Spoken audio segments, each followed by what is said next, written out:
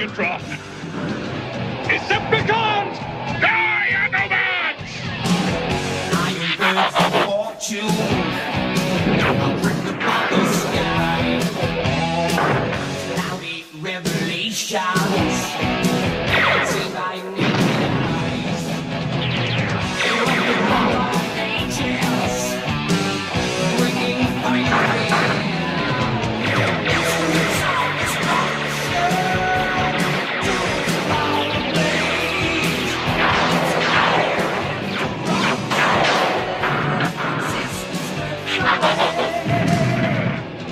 Was almost too easy, Starscream.